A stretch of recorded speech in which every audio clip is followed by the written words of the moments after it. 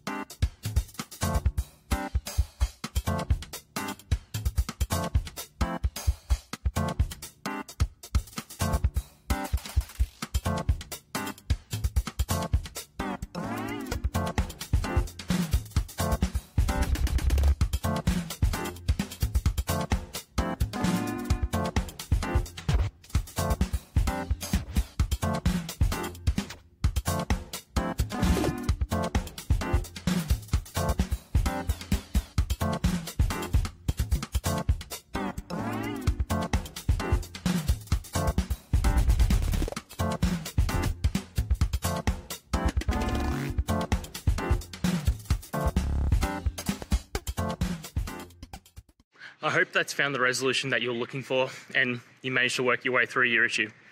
Please, if it did help, hit subscribe. I'd really appreciate it. And until the next technical time you need help, have a good one.